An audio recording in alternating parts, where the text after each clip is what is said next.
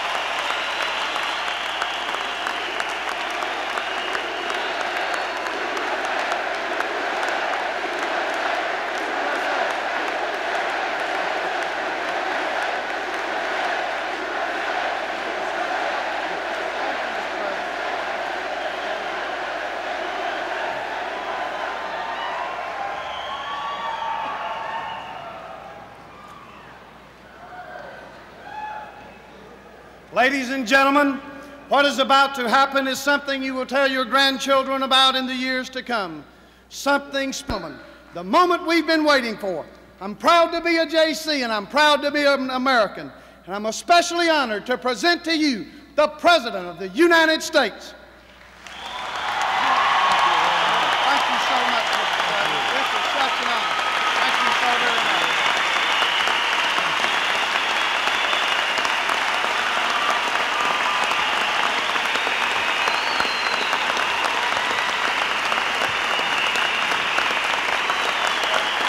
Thank you.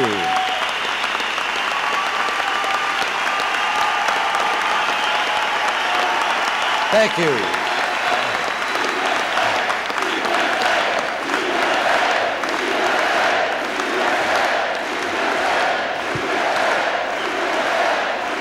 Thank you. Thank you all very much. Thank you, President Tommy Dodd. Doris Gosnell, our governor, Governor Orr, Mayor Hudnut of Indianapolis, Lieutenant Governor Mutz, Congressman John Myers, and all of you members of this great and growing organization.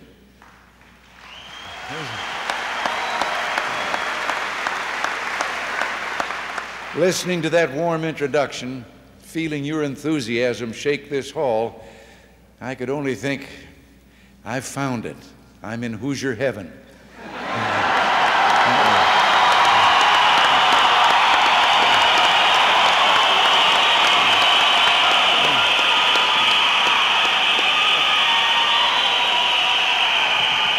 You know, you know, I grew up not too far from here hearing the song about Indiana's Wabash Cannonball. But I'd say I've just heard the sound of an all American cannonball.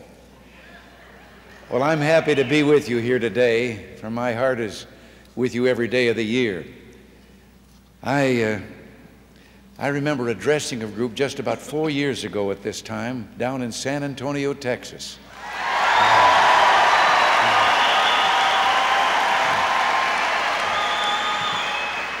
And I asked for their help to put the pieces of a broken economy back together. They were and are a very special group of people. They're heroes who live in the frontiers of American life. They're people who behold in the dawn each day a dream far away to strive for and win. They're men and women who laugh at folly and fear and who see setbacks not as excuses to quit, but as spurs to struggle and sweat even harder to carry on. They are the Jaycees. They stand for opportunity, and they're leading the economic comeback of the United States of America.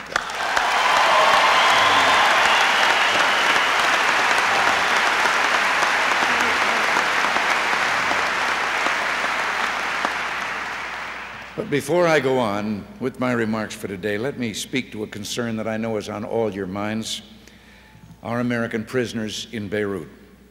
We're continuing to do everything that we can to bring all credible influence to bear to get our people freed and returned home safe and sound. Let me say we must.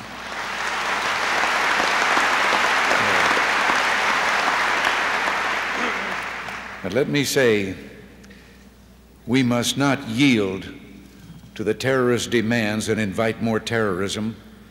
We cannot reward their grisly deeds. We will not cave in.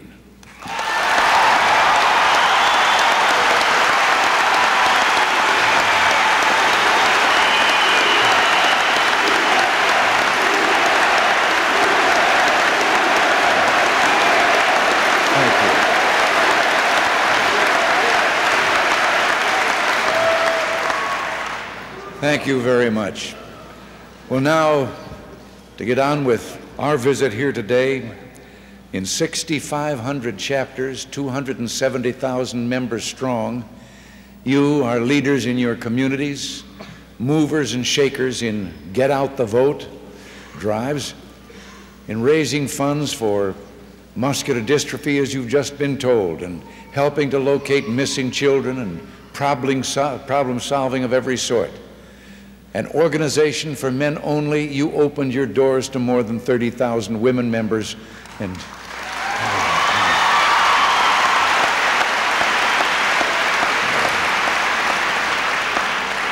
And today we salute all of your new Jaycee members.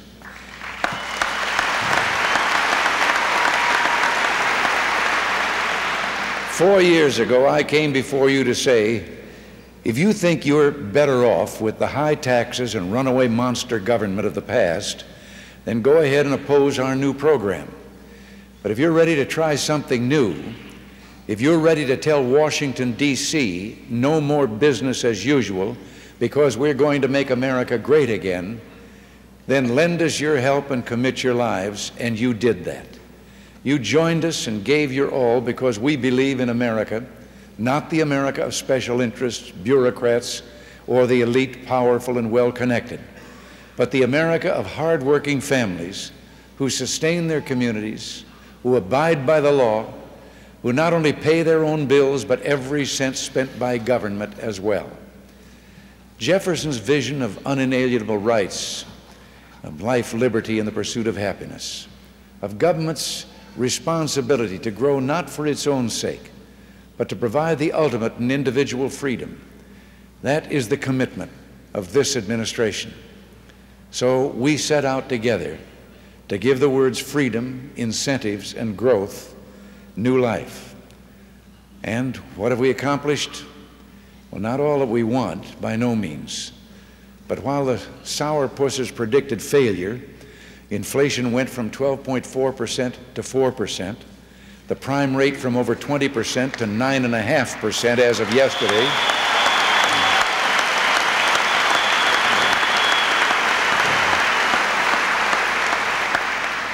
That's the lowest level in six and a half years for that. Government stopped engorging itself with the people's earnings. Nearly 8 million new jobs were created, more jobs per month than Europe created in the last 10 years. 635,000 new business incorporations last year. Zero growth turned into 30 straight months of economic expansion and sent consumer confidence to its highest levels since 1966.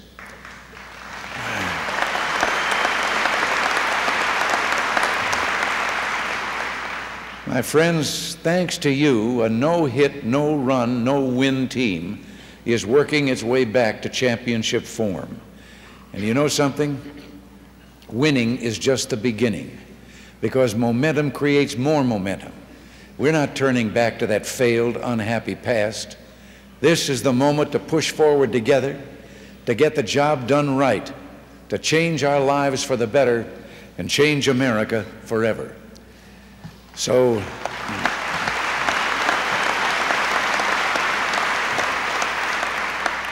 so like in 1981, I've come to ask a simple but crucial question for our future. Are you with us? Can we count on your support again?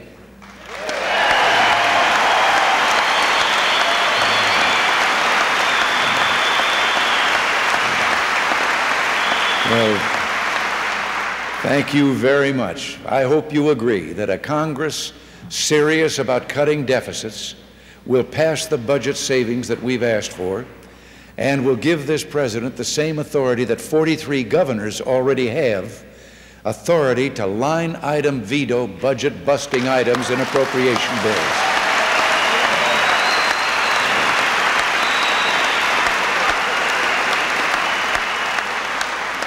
And if we're ever going to handcuff the big spenders, we can't stop with a line item veto.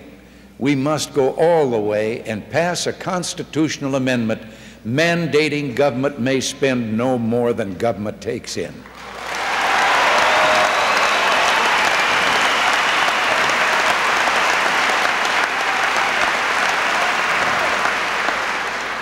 Now, I've come today to speak to you on another subject. I've come to speak about our tax system. I pray that this won't send shudders through the hall, then I wouldn't be surprised. A system with 14 different tax brackets that stifle hard work and success, a system that has singled out families for cruel and unusual punishment, a system that caters to the powerful few with loopholes galore, but lets working people take it on the chin that system is unfair at its core. It has become public enemy number one. It's earned a revolt, and it's time we tore it down.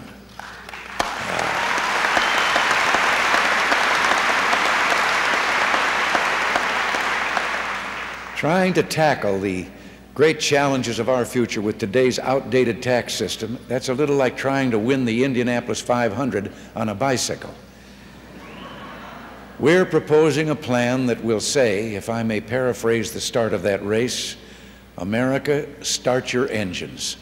We're proposing a plan that will tell 238 million Americans, go for it. We would get rid of the current 14 bracket system and replace it with a simple three bracket system of 15, 25, and 35 percent. Those brackets would apply to your taxable income, not to your gross income. And these lower rates would mean you could keep more of each additional dollar that you earn or save. We call it America's tax plan because it will mean fairness and tax relief for the majority of families, individuals, and businesses in every region of the country. Families are the bedrock of our society, and they're going to receive long overdue relief. It's a national scandal that Washington sat back for over three decades and let the value of the personal exemption collapse. Well, we're putting an end to benign neglect. Of immense importance to working and middle class families, we will nearly double to $2,000 the personal exemption for every taxpayer and defendant. The exemption will be indexed into inflation to prevent any erosion. We would raise the standard reduction for joint returns to $4,000 and to end unjust discrimination against homemakers, we would nearly double to $4,000 the amount every couple can put into individual retirement accounts and deduct from their taxable income.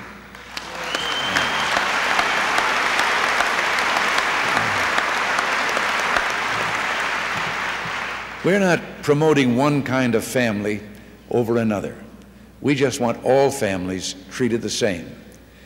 I think you know who gets the lion's share of the credit for creating nearly 8 million new jobs in the last two and a half years. When it comes to producing jobs, American small business is king. And small businesses will remain king because America's tax plan is the biggest jobs creation bill in history. Reducing personal tax rates will give a shot in the arm to small businesses which aren't incorporated. So will reducing the maximum corporate tax rate, now 46%, to 33%, with most small corporations paying lower corporate tax rates, which will be progressive from 15% to 33%. And reducing the top tax rate on capital gains will fuel the high risk ventures that can pay off with great leaps in productivity and new jobs and technologies. We want every man and woman to have their chance to stand among the new heroes of our age, the American entrepreneurs. Entrepreneur. You know, that's such a nice word. That's a French word, it means Jaycees.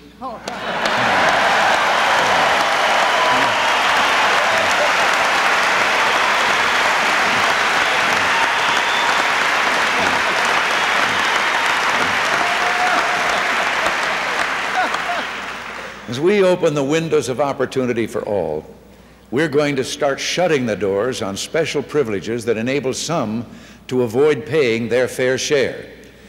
I don't think we need to keep subsidizing $100 lunches to stay competitive in world markets.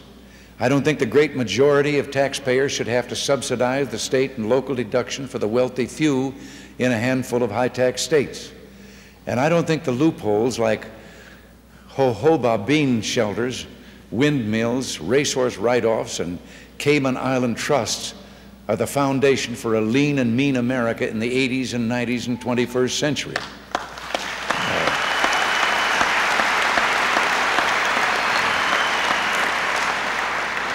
These shelters aren't justified.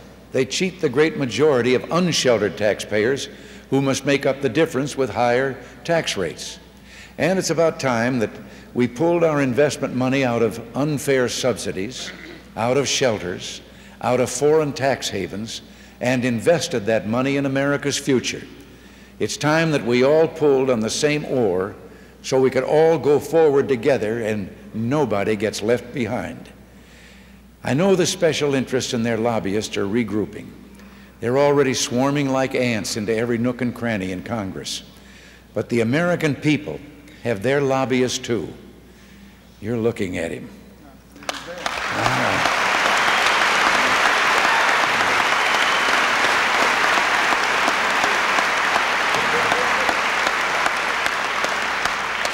Our plan will not increase the deficit.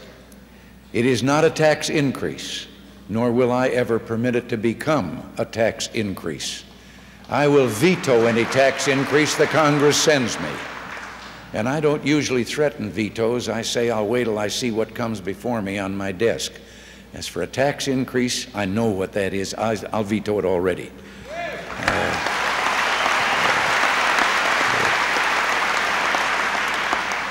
But America's tax plan will mean that every income group's tax burden will fall. Every group in every region will be better off.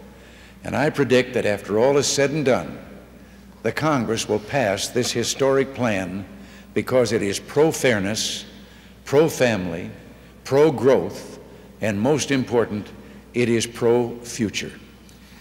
The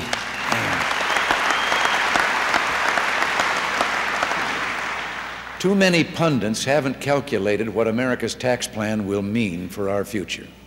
In a word, lower tax rates mean new opportunity a whole world of opportunity for people.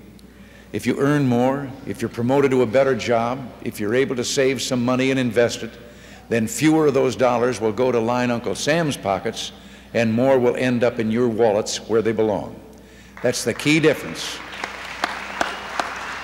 That's the key difference from the tax system we have now. And when you see that bright green light telling you, go ahead, take a risk, shoot for your dreams and do more with your lives, it'll be America that gains the most. America that becomes more competitive. And yes, America that lights up the sky with economic fireworks that spell USA number one. I've,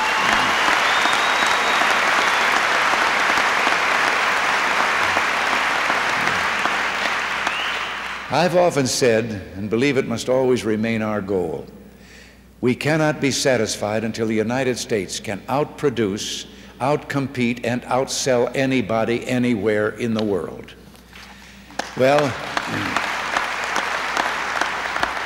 America's tax plan will enable us to do just that. Tax rates are like prices for producing, saving, and investment. And history shows that in the case of two countries, A and B, and the tax rates are cut in B, then capital will flow from A to B. By bringing down our prices, by making them cheaper, we're then virtually anywhere in the world, we're going to create powerful incentives for people to invest, produce, and save in America. We're going to create powerful incentives for people all over the world to do their shopping and create jobs in America's stores ahead of any other store. We're going to contribute to another surge of venture capital and entrepreneurial activity. We're going to make it possible for tomorrow's industrial giants to be born in America, born in a small business that may begin in the dream of one Jaycee. This is the future that we can invent and create together and we shouldn't settle for less. Our dreams can be real. I'm convinced that getting this program passed will be the best thing we could ever do for ourselves. Help us get it passed by Thanksgiving, and then we'll give America the best Christmas present we've ever had. And some people.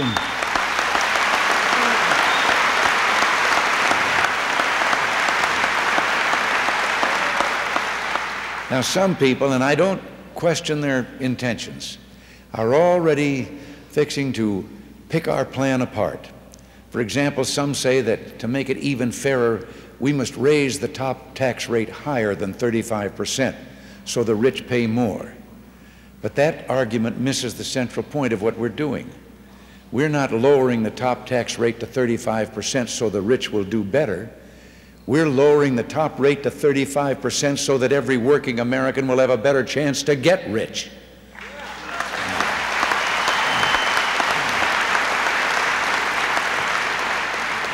There's something else they forget. Nearly 15 million small businesses pay their taxes by the personal rates. So raising the top tax rate is a tax increase in waiting for every one of them. I think the Congress should hear what you think about this, but you're going to have to speak up because they're 600 miles away. A potential tax increase of on millions of American small businesses. Now, is that your idea of fairness? Oh, I'm, I'm afraid, I'm sorry, your answer didn't quite reach D.C. You said what? Is it? Is a tax increase on small business your idea of strengthening growth and our future? Well, then maybe you'd like to tell Congress you support our plan. You want it passed. America should unite, and America should go for it. Well,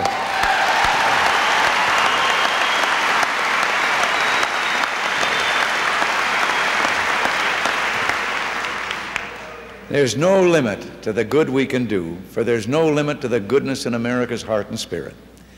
You know this. You're the ones who show us every day in places like Anderson, South Carolina, where J where Jaycee's, Jaycee's built a Vietnam War memorial to the 28 young men who gave their last full measure of devotion in that war. In Stevens Point, Wisconsin,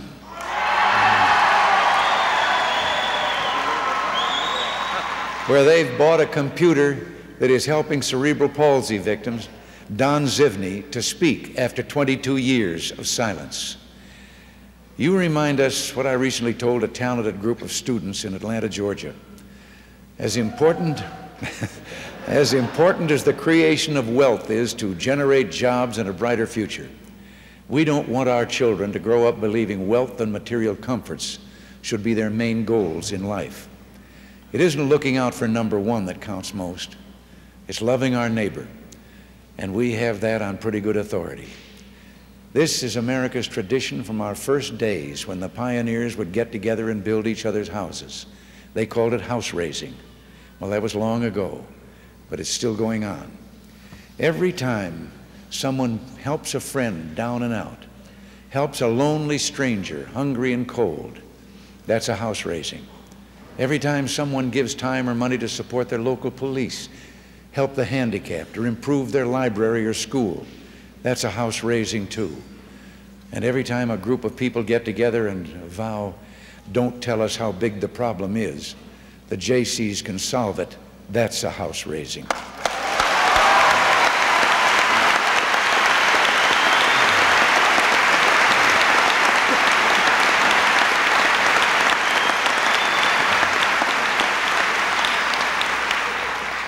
I thank you for this wonderful time that we spent together. I wish you an America rich in success, rich in our kindness and love for each other. And if I must say goodbye, and I do, because saying goodbye to the Jaycees is pretty hard to do, then I'll do it by leaving you some words I almost feel were written for you. They're from a very noted poet in our background. He said, Believe in your mission Greet life with a cheer. There's big work to do, and that's why you're here. Let the world be better for you. And at last, when you die, let this be your cry. Come on, my soul, carry on. Thank you for the miracles you do every day. God bless you all, and God bless America.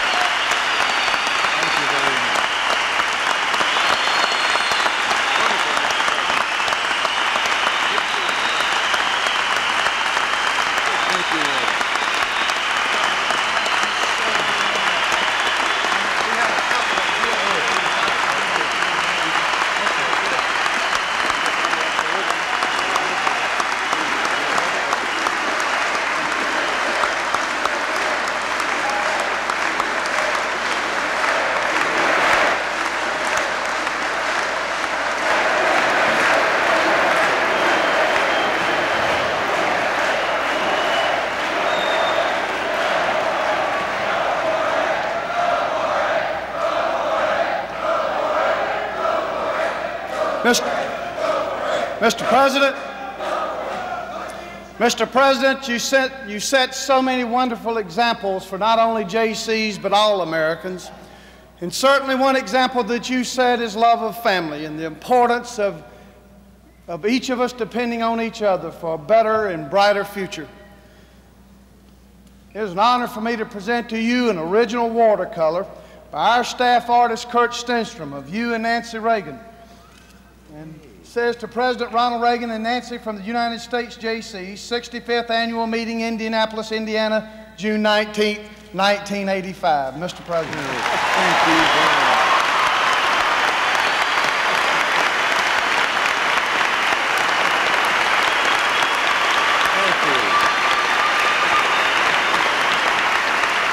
Thank you. We'll call it roommates. Romance. Romance. Roommates. A roommates. Oh, okay.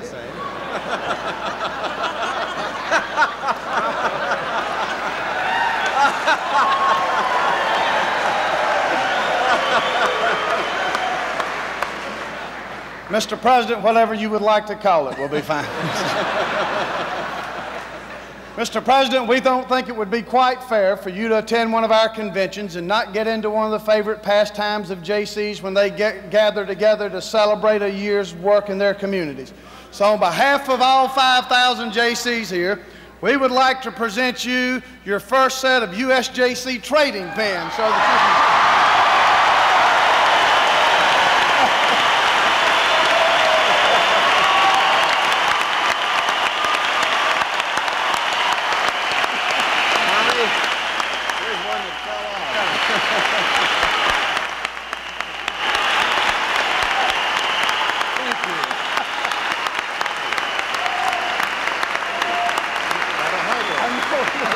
I'll get that for you, Mr. President. I'll be glad to get that.